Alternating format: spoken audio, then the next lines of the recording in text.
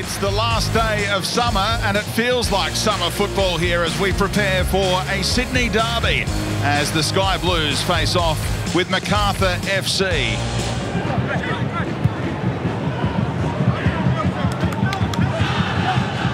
A little frustrated, a bit of pointing going on amongst the Macarthur FC players. Beñat asking for more movement from teammates, and now they've given it up to Ninkovic, of all people, who rides through a challenge or two, and they've got the numbers here, Sydney FC. Big chance, back off the bar from Paulo Retre. Again with the steal, drives inside to make that space for Retre. Good first touch, and he lifts this one, but he lifts it too much. Susaeta, well-worked routine inadvertently off Wood, back to his opposite number. And Susaeta, the dancing feet. And now a little lift over the top. Brilliant! Markel Susaeta! Fantastic! Finished off by Derbyshire, who goes outright top of the Golden Boot race. But they rightly go to Markel Susaeta. Superb!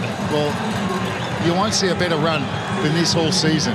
Absolute brilliant from Susaeta. He did one a few minutes ago over on the right-hand side, but this is even better. That was all about the run by Susaeta, and well done to MacArthur as well.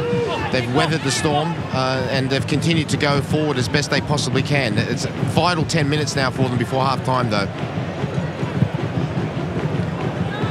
Nieuwenhof. Sydney FC looking to hit back. Oh, what a ball, Baumjohann!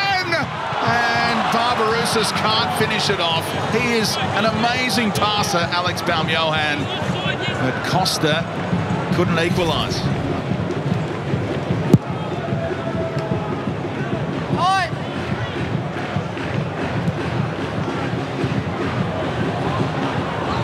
Trey gave it up to McGing and then followed through. And the card. Oh, it's a straight red card for Paulo Retre. It goes from bad to worse for Sydney FC. Alex King had a good view of it, no hesitation for violent conduct from Paulo Retre with the studs raised on Jake McGing. Only part of the pitch in shade at the moment. And the header back off the bar again. Derbyshire that close to a double. Here's the corner, corner from Beñat, gets in between two defenders. One behind him was Wilkinson. And he's very unlucky not to score.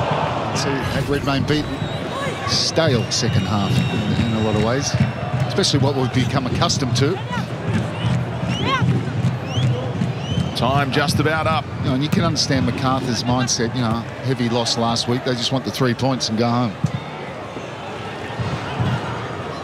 Referee glances at his watch. Jake Hollman not that interested in looking forward.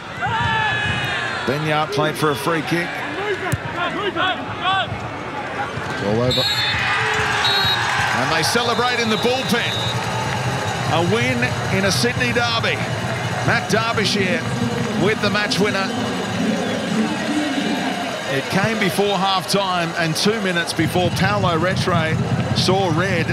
Sydney FC down to 10 men, fashioned a couple of chances, but couldn't find an equaliser. And Ante Milicic's side take all three points, and they are up to second, just one point behind the table toppers, the Central Coast Mariners. Fantastic result for Macarthur FC, who get ready for a, a match next time against the Mariners. They win this one, 1-0.